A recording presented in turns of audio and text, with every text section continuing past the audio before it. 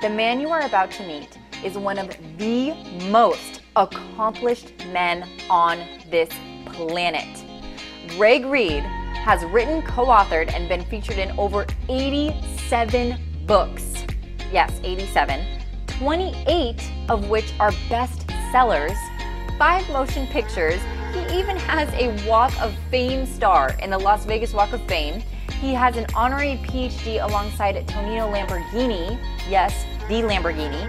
He runs eight corporations, and literally the list could go on forever and ever. He is a legend, and I am so excited for you to meet him. So get out a pen, get out a paper, take tons of notes because his time alone is worth so much, you guys. So get ready.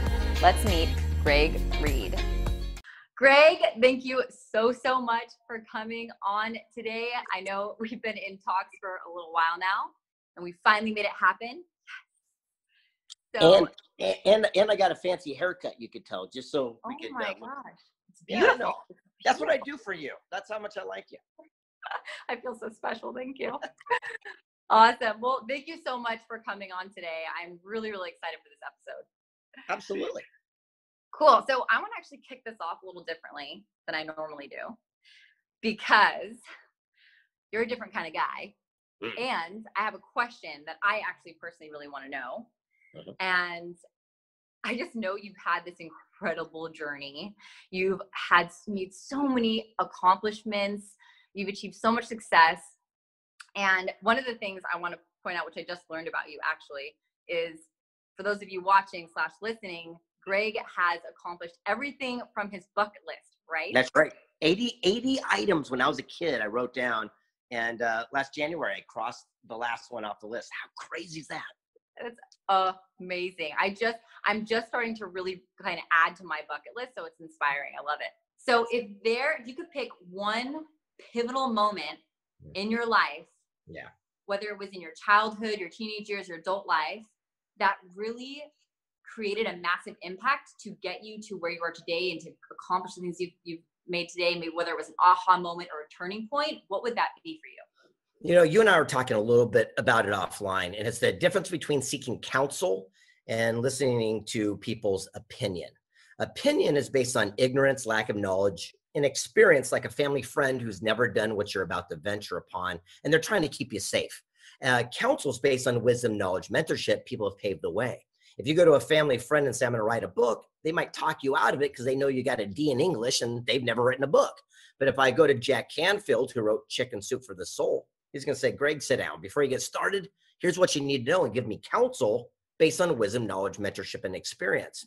Why I mm-hmm. learned if we would spend our activity only seeking counsel and ignoring people's opinion, that is literally the day your life would change. Mm, I love that. So w- when you say because it's such a powerful difference. Seeking counsel versus taking on opinions. So what would you say is like a major like cr- the criteria that you use when you okay that's great. someone getting the results that i want for myself today. I'll give you an example. If i wanted to open uh, a brand new restaurant chain I very good friends with the founder of Chuck E. Cheese, but he did it 40, 50 years ago. So I'd say, okay, five guys or in and out, who's the hot trend right now? And I'd go to that person and do it. I'll give you an example. When I wanted to become a best-selling author, I did not go to people who wrote amazing books. I didn't want to be a great writing author. So I went to Barnes and Noble and I went to the best-selling section and I bought every one of them and I called those people and said, teach me. Go, I want to be a best-selling author and I followed their guidance, and here we are today. I love it. Yes. So people who have accomplished what you want to accomplish. Correct. When I went to Africa and summited Mount Kilimanjaro, you know, I didn't ask some dope smoking surfer kid here in La Jolla to take me up the mountain. I found the Sherpa that had climbed it eight, 900 times. Wherever they put their boot print, I put my boot print. I just follow the successful actions of others. I got a major feature film that's going to be in the theaters here next week. And I know nothing about movies. So I said, okay, who won Oscars? Who's these top developers? I went to those people, asked them for their guidance, and just followed the successful actions of others. What's interesting is that when we were kids, we got in trouble for cutting to the front of the line. But as an entrepreneur and a business person, it's a must, it's mandatory. So all I do is I say, who is doing what I want to do? I ask them for their counsel, and then I put my own spin to it and have the same results for myself. I love it. Rather than reinventing the wheel. Put a new hubcap on it. yeah. Awesome. Okay. So I love that answer so much. And it's so true. Sometimes we will let the opinions of others, like our parents or people who haven't done it yet, they start, you know, shooting on us is something I like to say. They're, you mm-hmm. should do this, you shouldn't do that. And we're at the end of the day, they hadn't done it. So how would they know? Um, right. So I, I love that. It's such a, it's a really powerful boundary to draw for yourself. That's right. And it is about, you know, drawing a line in the sand and making sure that, you know, you're taking input for someone that you would trade their life for. I'll give you an example. Someone comes up to me and they're smoking a cigarette saying, Hey, you shouldn't smoke. I'm probably not going to pay attention any more than someone pulls up in a beat up old car and they live, uh, you know, rent a room out of someone's back basement. Tell me about financial advice. So I'm very cautious of who I get my information from, but also there's a slight spin to that. Everyone we meet will know something we don't know.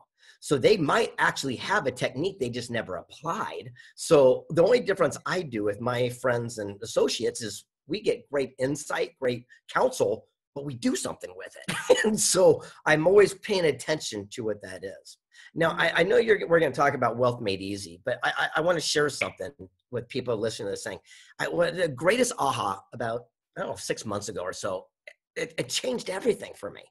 It says, what if God in the universe actually answered every single prayer and wish that we ever desired, only we didn't like the packaging, so we sent it away. I'll give you an example. I sat there and said, God, I need a hundred bucks. Please, dear Lord, I need a hundred dollars. A guy pulls up in a big old pickup truck full of aluminum cans. He goes, dude, take these off my hands. I'm running late for a meeting. I got to get them gone. They're worth over a hundred bucks. I go, get those stinky things out of here. Oh, wait a second. I prayed for it. It was delivered to me. I didn't like the packaging. So I sent it away. The chances are my prayer and wishes are not going to be granted so feverishly next time. It's the old saying be careful what you ask for, you might just get it.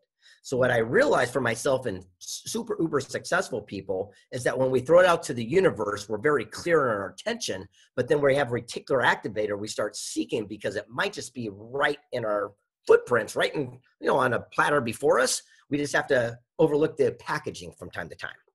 I am so excited that you just said that. I literally just was writing about this in my journal, believe it or not. So perfect. Wait, I was writing about this. I believe it.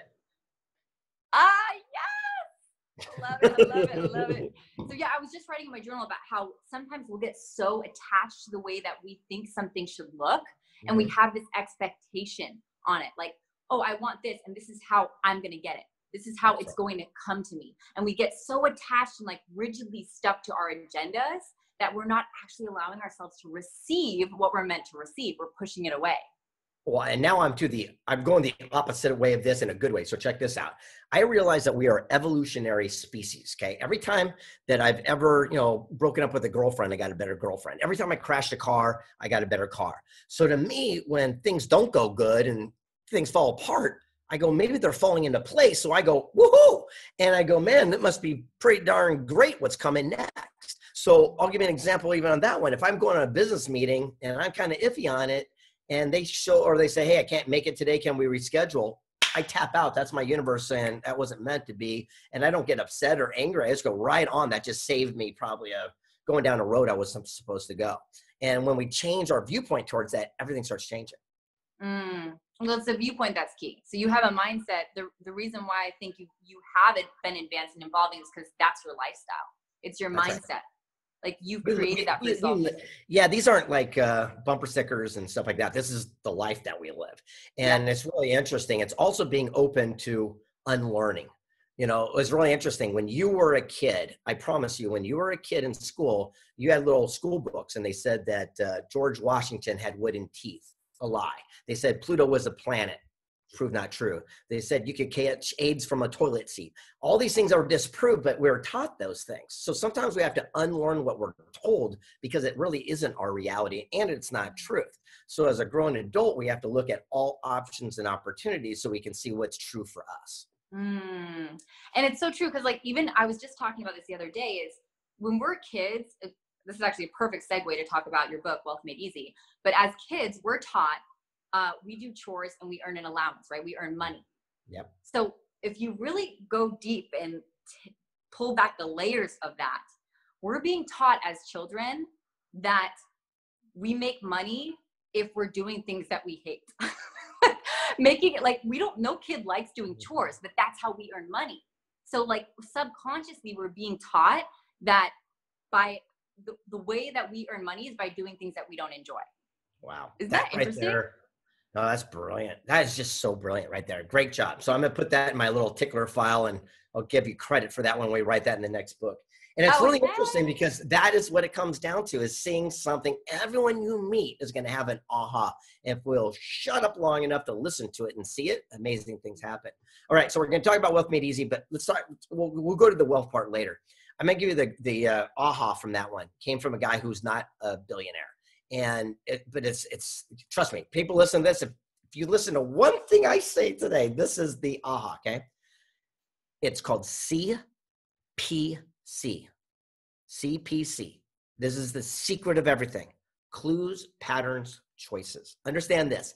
Every single thing that happens is our choice and it's our responsibility and accountability. And as soon as you have this mindset, everything around you will start falling into place and gets easy. I'll give you an example. C, first one stands for clues, the P stands for patterns, and then the C stands for choice. Example I go out on a first date. The girl shows up 20 minutes late. Well, there's a clue. I go on the second and third date, she shows up 20 minutes late. Well, there's a pattern. Now it's my choice either deal with it, address it, accept it, whatever, but it's not their fault. They're just late. So the whole thing is it takes it off of them and it puts it back onto us. How many Mm. times have we seen someone do a bad business deal with someone around us and we go, oh my gosh, and there's a clue. And then we see it do it a couple other people and there's a pattern. Then they come to us and go, oh, it'll be different. And then when things go crappy, we get mad at them, yet we had the clue patterns and made that choice. So as soon as we have the accountability and responsibility that the decision's up to us, that's where everything around us starts falling into place.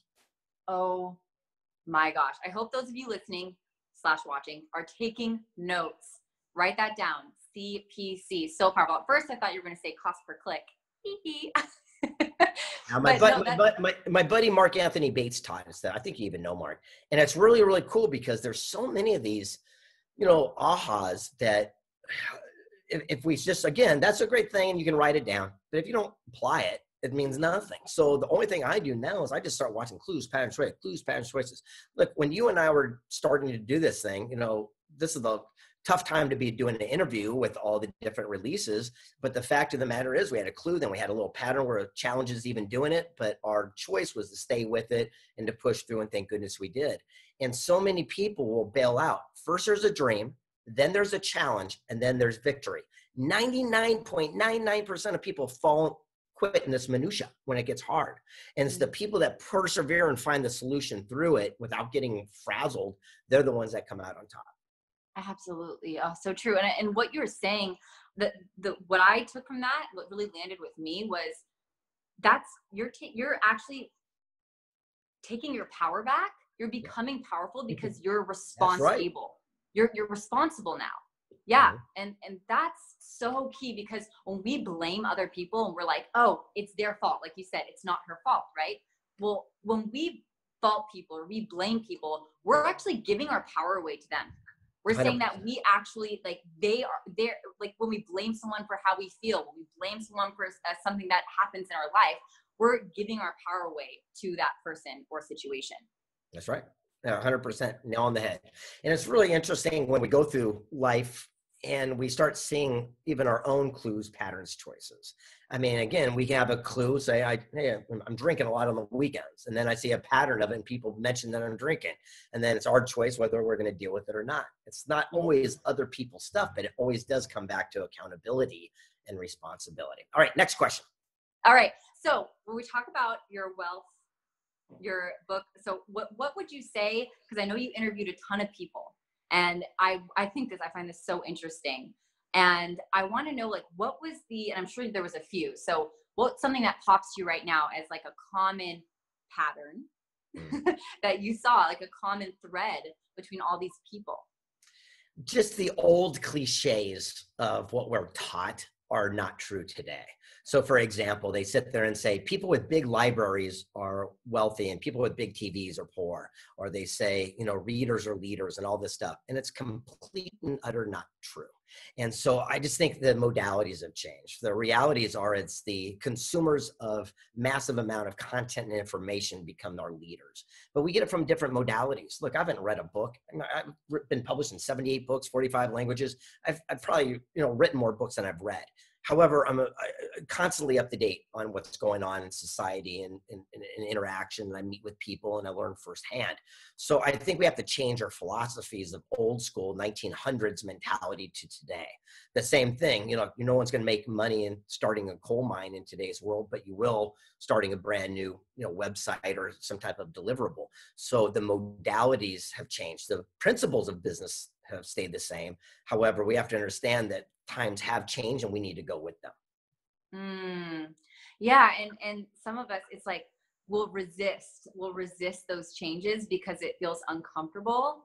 But like really, those are the spaces where the most growth can happen when we let go of that, right. like our comfort zone. We step out of it right and back and back in the day you know what's interesting is that again the 1900s mentality was that first the market was the key to all success and today that's the kiss of death and so it's so paradoxical and people don't understand that. But the reality is if first the market was the way to go, then you know, MySpace should still be the greatest success story or Friendster or what have you, but it's not the way it is. And you start following the successful actions of other people, let them make the mistakes, and then they come in there and they duplicate it for themselves. You look at Amazon become the juggernaut that it did, but Alibaba came in did it so fast because all they did was use what worked from this other service and added their own spin and did it for themselves to a bigger market.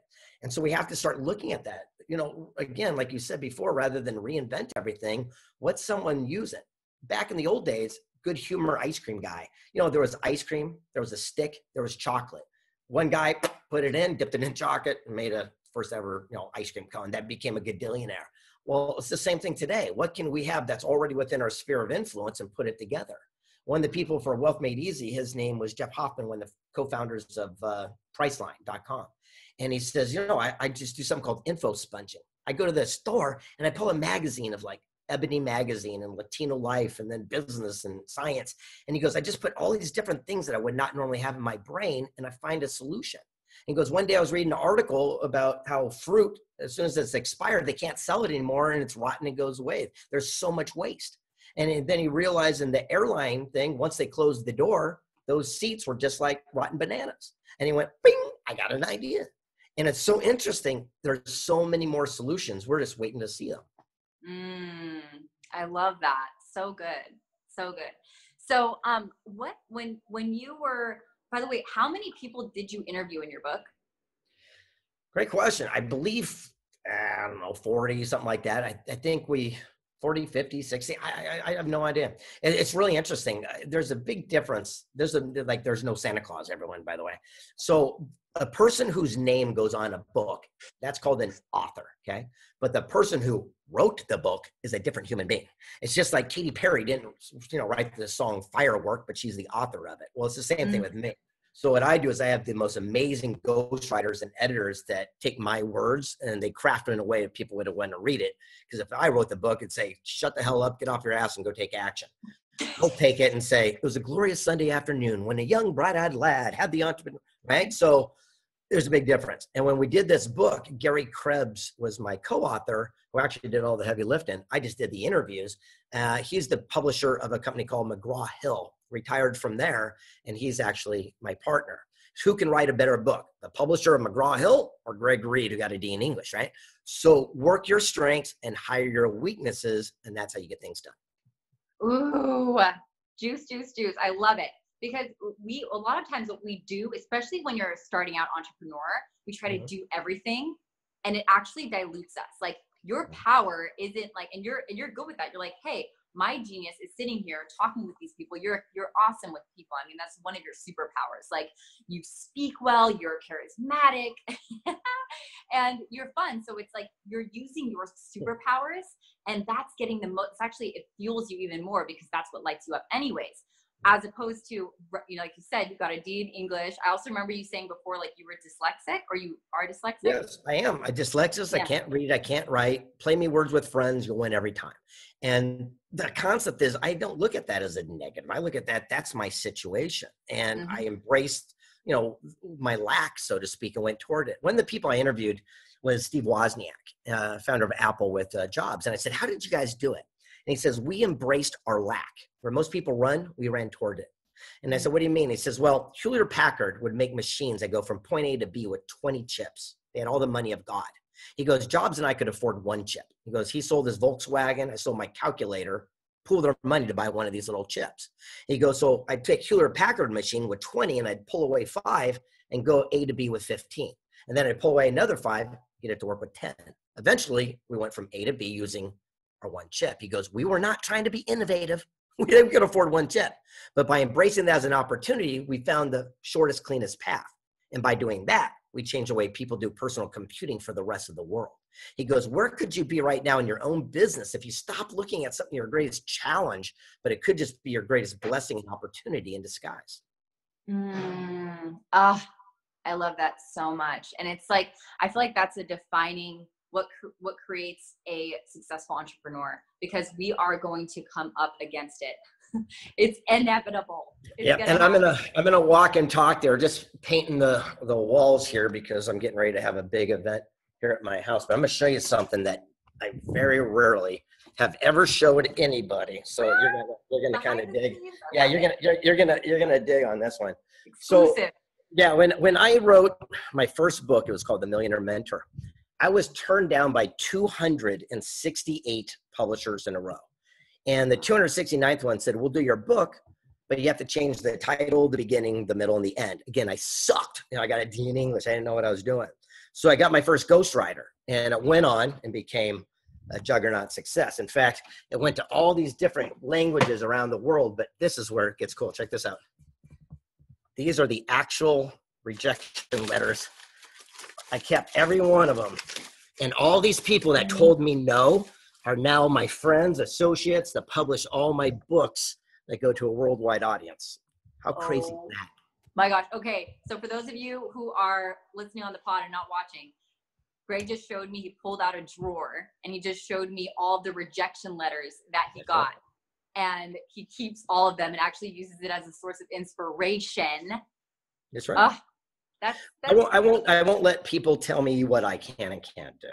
That's it. You know, I, I know what I'm capable of, and I go for it. You know, it's it's kind of the same way with making this movie or doing anything. Everyone will tell you no. They'll give you their opinion, uh, but not everyone will give you counsel. And now this, by the way, is my private library here, and this is kind of cool. Check this one out.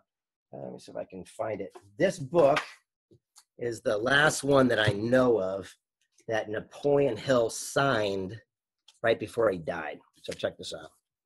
It's all shaky, his autograph. Oh my God. Yeah, cool. And then wow. these are a bunch of the, you know, the different books and the all that good stuff. But you were telling me about your library. Yeah, you got to come check it out. I mean, it's uh, it's it's it's it's pretty cool. In fact, people listening, I live in San Diego. I recommend you come by, hang out, and check it out for yourself.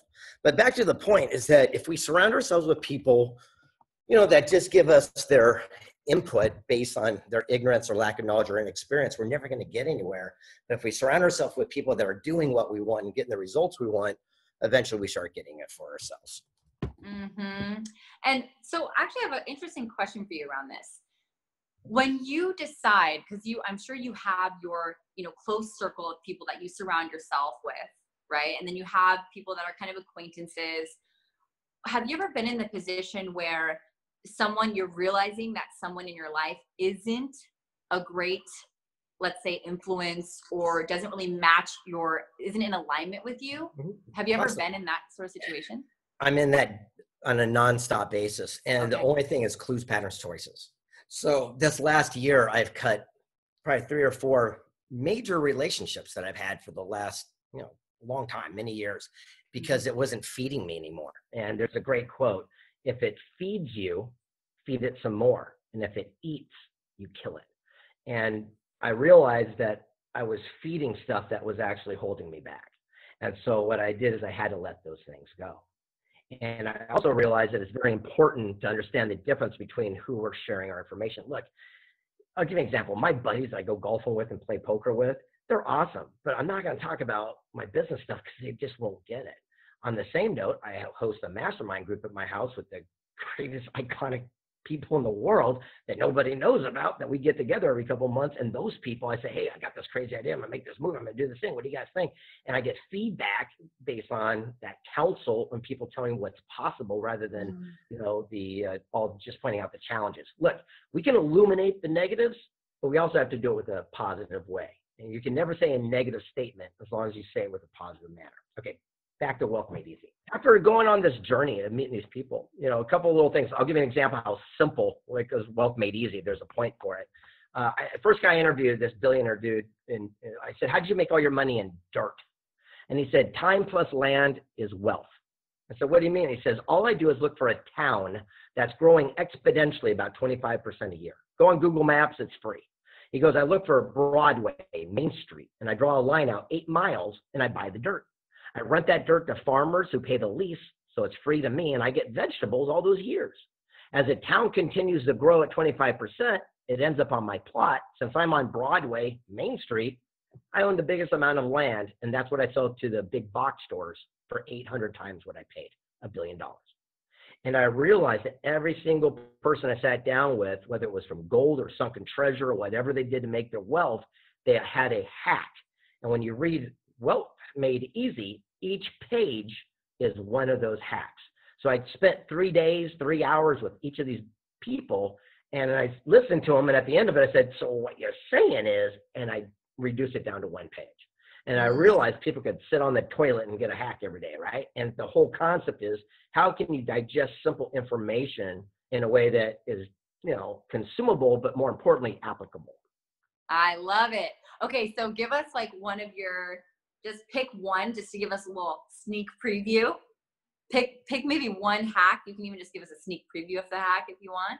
Well, but what's like one that sticks out to you right now? Uh, we'll start with Lamborghini. You know, I was sitting down with the Tonino Lamborghini. I go, "How did you and your dad create Lamborghini? You know, how did you create so much dough?" And he says, "That's easy." He goes, "All you got to do is create a product, good, service, or experience that people will save all their money to happily hand it to you." Goes, you'll never have to do an ad. You'll never have to do nothing. I went, what? He goes, look, Greg, no one's spending, uh, you know, saving all their money to buy your book or to go to your seminar, but they're cashing in their 401k retirement to drive one of our cars. And he goes, guess what? You're not going to spend $3,000 a night to live in your own apartment. He goes, but I guarantee you, you're cashing in the entire family vacation fund to go to Anaheim and give it to a mouse with big ears. He goes, if you can create a product, good, or service that people save their money to hand it to you, You'll never have a complaint, a chargeback, and you have unlimited customers for the rest of your life. Huh. Wow. Well, that is, I love that perspective. That's awesome. There's so many. You know, sitting down with all these people. I mean, even like, uh, you know, the Steiner Sports, the founder Jason, and you know, back to dirt. I mean, most people just walk over so much abundance. He, he was he's the top guy. Uh, Steiner Sports is if you ever wanted sports memorabilia and you get it autographed and stuff like that. He's that world top guy in the world.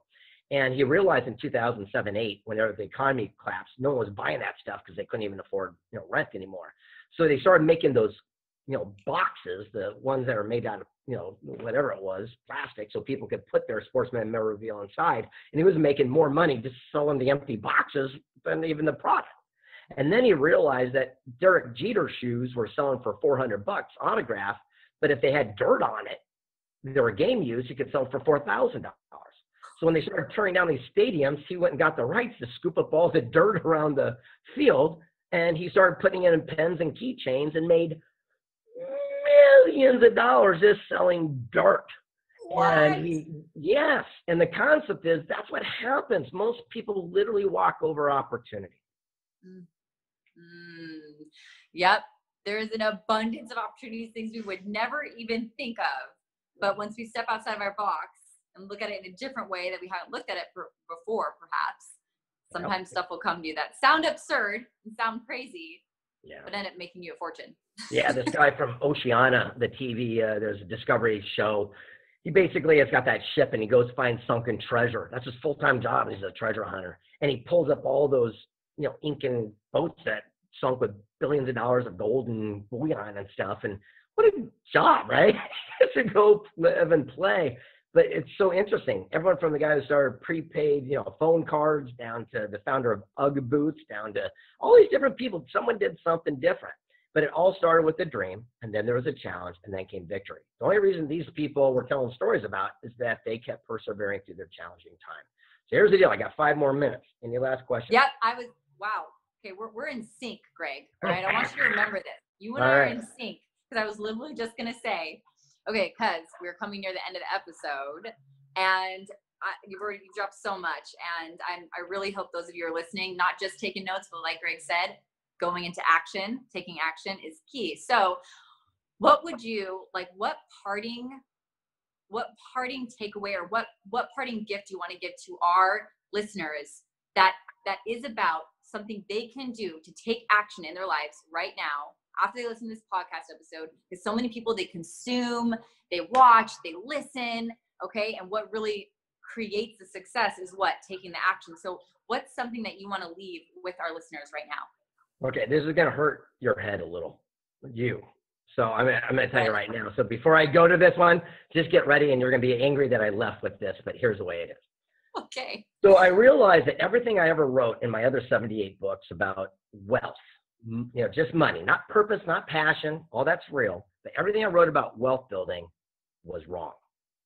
And I had the greatest epiphany. It's, it's the last chapter of Wealth Made Easy. I sat down with this multi-billionaire and I looked at him. I said, "Why are you a multi-billionaire and I'm not?" And by the way, he's coming to my house in a couple weeks for prosperity camp, and he goes, "That's easy." He goes, "You believe all the bullshit lies that you spread to the world." He goes, "You are the suppressor of all mankind. You and all your friends, and we appreciate it. And we'd appreciate if you continue that journey because you're the person making us wealthy." I went, "Wow." And I says, "What do you mean?" He goes, "Well, you're the purveyor of the greatest lie that's ever been told. You put bumper stickers and memes." And he goes, he goes, You're the one who keeps us all in the fat cat house. And I go, What are you talking about? He says, You teach people to find their passion and the money will follow. I go, Yeah. And he goes, It's the greatest lie ever told. He goes, Keep spreading that. He goes, He pulled out a phone with one of my memes that says, Follow your passion and not a paycheck. He goes, And you wonder why you're broke, you dumbass? And I'm like, and he says, Look, he goes, You'll find a guy who's a welder their whole life, admirable field. They finally retire with some nest egg they go to Tony Robbins seminar and they open up a yogurt shop because they get all fired up to follow their, passion. He goes, 95% of businesses fail the first year, not because they're not eager or trying. They're a welder and not a yogurt guy. He goes, but it's their baby, their passion. So they hold on too long. And when they go down with the ship, they pull their car and their boat and their house. And he goes, yeah, we come right in and sweep that up for pennies on the dollar. Woohoo! And I went, what? And he goes, look, he goes, successful people look for and capitalize on unexpected opportunity and we build wealth in abundance. Go, what do you mean? He says, we're like a game of Frogger. We ride a log and as soon as it dips, we jump to the next log. We can never go down. We don't care. It's just business. He goes, but here's what's great. We build so much wealth, so much prosperity that we use that money to finance our passion. He goes, you guys do it in reverse. I own the stadium. I own the football team that everyone on the field is literally giving their life for a couple million bucks following their passion. He goes, the sheiks in the desert, the Gettys, they had no passion for crude oil. Waste management has no passion for dirty diapers and rotten cheese. The aggregate dealers have no passion for sand and gravel to build the freeways, but they built every university, the ballet, the arts, everything that we know and love. He goes, until you can change your mindset to wealth rather than just passion, you'll never understand the power of true abundance. Mm. Gotta go. Wow. Yeah, no. I drop. there you go. Oh my gosh. Okay, I know we're gonna have to do a sequel at your in your library. I hope you know this. Let's do that. Done, done, and done. Uh, and I want to say thank thank you for having me on. And again, if I can be of contribution to anyone, find me on the internet. My name is Greg. I look forward to talking to you. Thanks, Greg. Now, bye.